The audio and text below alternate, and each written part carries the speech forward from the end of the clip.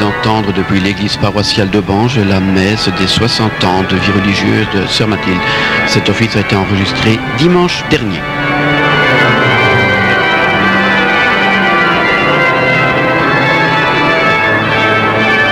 Dimanche prochain, nous espérons pouvoir vous donner la messe du centenaire de l'ISMA à Arlon. Et sûrement que cet office démarrera aussi à 8h15 le matin.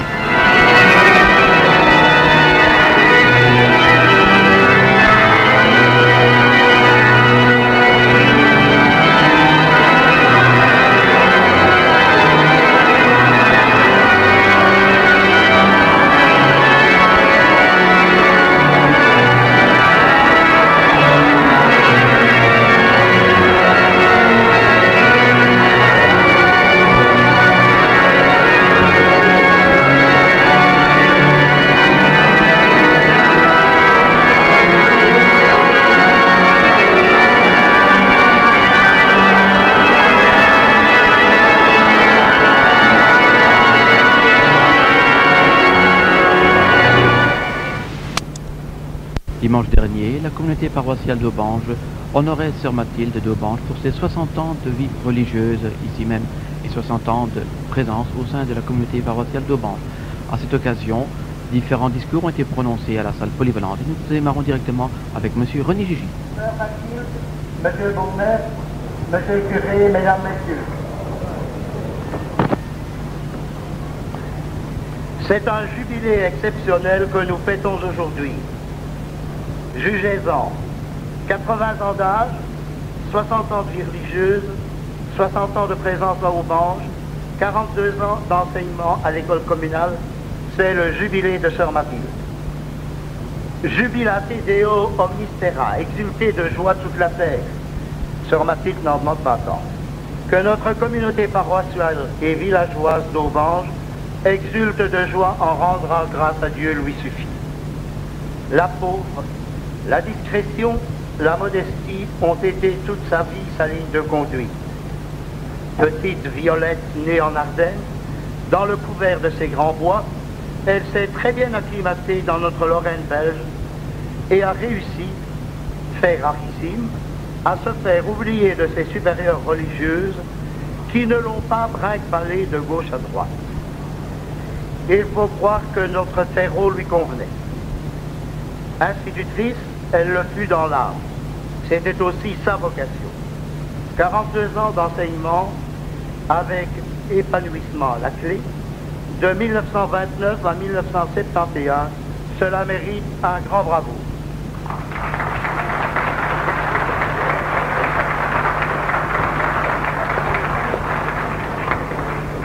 Elle fut, j'en suis convaincu, pour ses collègues de l'époque, plus une amie, une consoeur, une co-responsable qu'un censeur critique.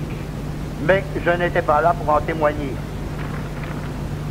Ce que je puis affirmer en tant qu'ancien élève de Sœur Mathilde, de 1939 à 1940, ma troisième année primaire, c'est qu'elle était, tout en adorant les enfants, une main de fer dans un gant de velours. Une main de fer, il le fallait, avec une classe de plus de 50 élèves, filles et garçons. Un gant de velours, elle l'était aussi, puisque, paraît-il, elle m'a consolé quand je pleurais sous mon banc d'écolier pour avoir fait trois fautes dans ma dictée.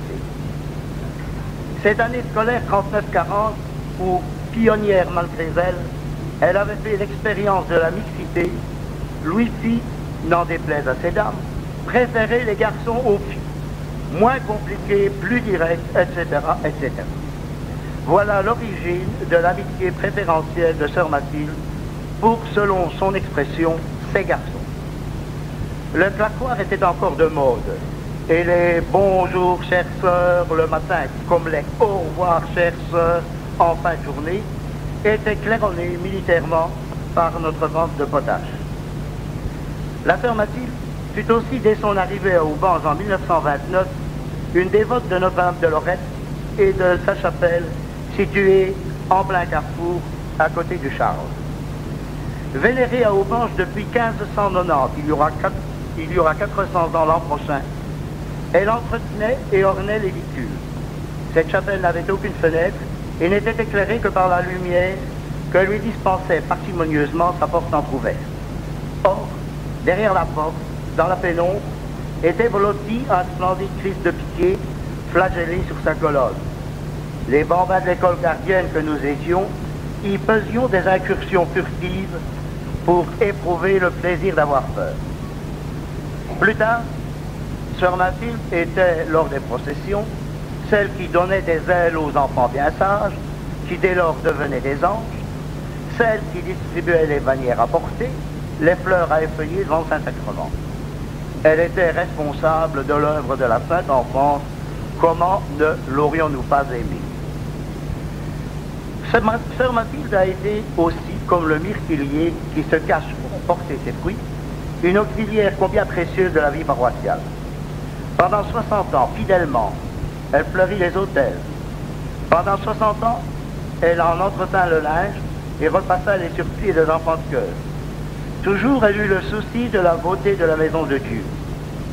Sur le plan social, Sœur Mathilde a toujours été attentive aux problèmes des malades, des handicapés, des isolés, consciente qu'il y avait là exigence d'évangile.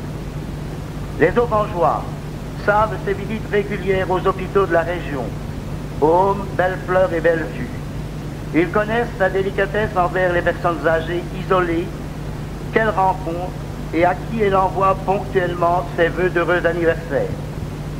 Depuis que la liturgie le permet, elle porte fidèlement chaque semaine l'Eucharistie aux chrétiens qui en expriment le désir. Fondé il y a plus de 20 ans, le groupe d'aînés d'Aubange, Carrefour Amitié, la compte comme un de ses membres les plus assidus. Aucune œuvre caritative, 11 11 11, eux de pour la clairière, Choco au profit de la petite plante, ne l'ont laissé indifférente, et elle leur a toujours, en fonction de son état de santé et de la météorologie aubangeoise, apporté l'aide efficace d'une vendeuse chevronnée.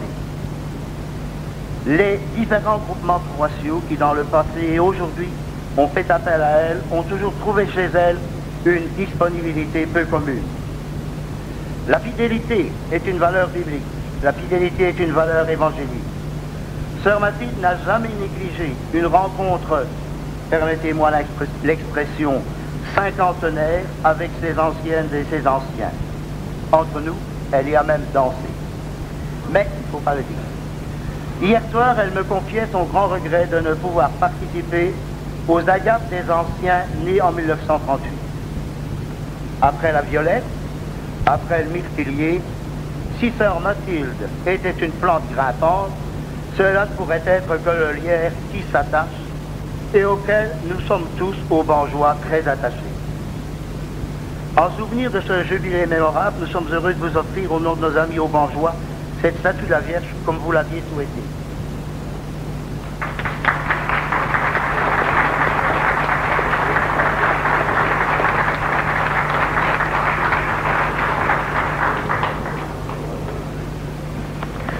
Et c'est maintenant Monsieur le bourgmestre François Ritz qui va prendre la parole.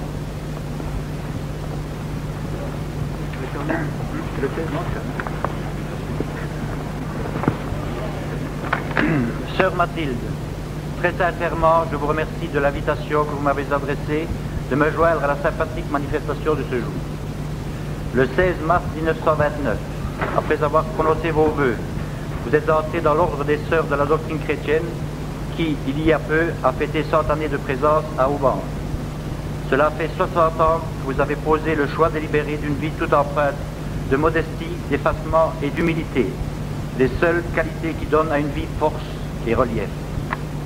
Durant 42 ans, vous avez consacré toute votre énergie à l'enseignement dans nos chères écoles communales. Vous avez fait rayonner l'esprit de centaines d'écolières. Vos exigences vous les réserviez exclusivement à la cause et à l'intérêt de vos élèves. Aujourd'hui, vous restez attentive et intéressée à l'excellent travail accompli par nos instituteurs et institutrices. Dois-je rappeler que pendant l'année 1939, vous avez accueilli 55 élèves, garçons et filles ont cohabité dans une même classe, qui a laissé autant que la forte personnalité de son enseignante des souvenirs encore très vivaces. N'est-ce pas, Monsieur Nizet? Ma sœur, vous n'avez pas pu l'empêcher de mal tourner comme vous avez raison de lui rappeler à chacune de vos rencontres.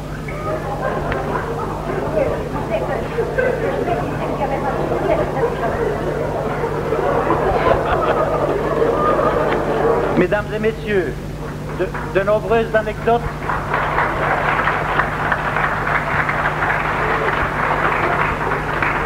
Mesdames et messieurs, de nombreuses anecdotes jalonnent la vie de Sœur Mathilde, qui a marqué la vie aubangeoise au-delà de ce que chacun d'entre nous peut supposer. Sœur Mathilde, je dois vous mettre dans la confidence. Nous avons au moins un point commun. Je sais que vous n'aimez pas les discours, surtout lorsqu'ils vous concernent. Je vous assure que je ne les affectionne pas particulièrement. Un long discours est souvent inversement proportionnel au sentiment que l'on éprouve. Le mien sera donc très court. D'un mot, je vous assure de la reconnaissance de tous les bourgeois pour tout ce que vous leur avez donné.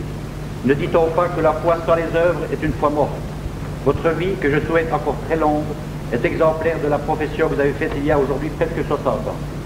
Acceptez ce cadeau symbole de notre amitié, de notre admiration et de notre sympathie. Que ces fleurs soient autant d'hommages vendus à la richesse de votre vie qui vous a conservé une jeunesse d'esprit très rare. Je vous remercie.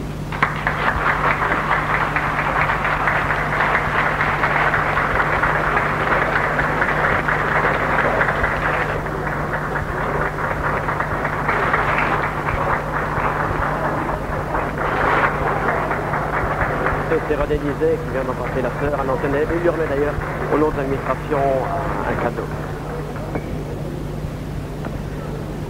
Et si vous voulez, nous allons donner la parole maintenant à la supérieure de la sœur dans la congrégation.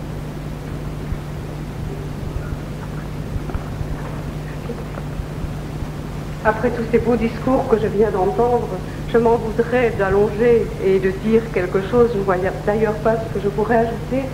Je voudrais simplement dire ma joie d'être aujourd'hui avec Sœur Mathilde et avec toutes mes sœurs pour célébrer ce jubilé, pour rendre grâce pour tout le travail qui a été fait, pour cette proclamation de notre Dieu qui a été faite ici à Aubange, pour tout ce service de l'homme dans la ligne du charisme de la congrégation qui est de mettre l'homme debout jusqu'à sa dimension de Fils de Dieu.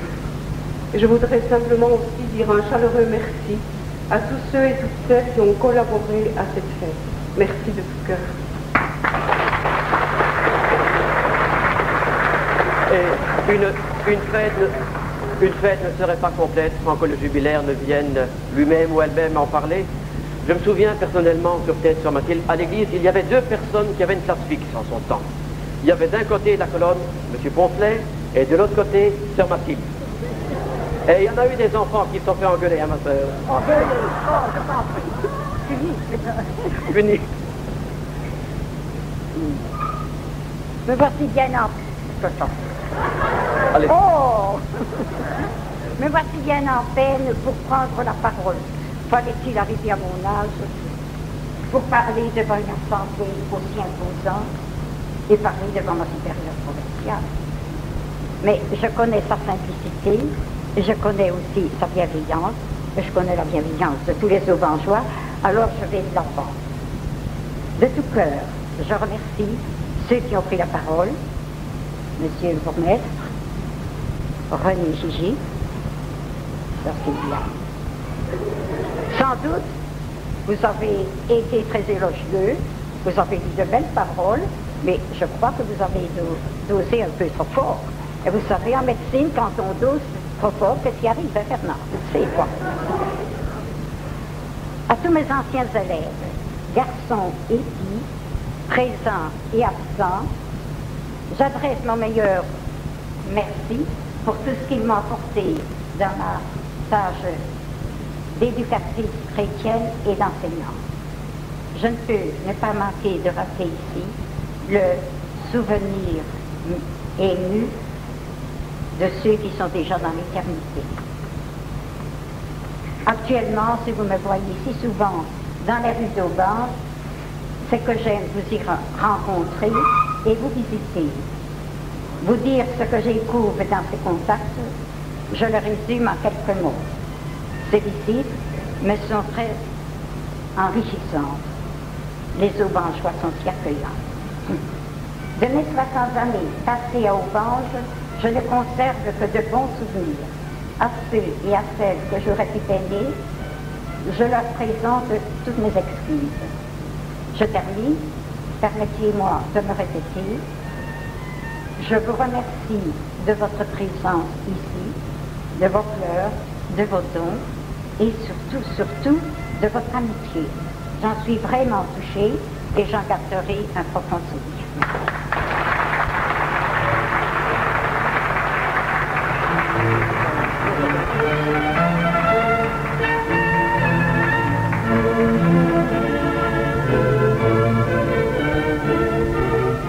Dimanche matin, à 8h15, très précise, la messe du renouvellement des vœux de.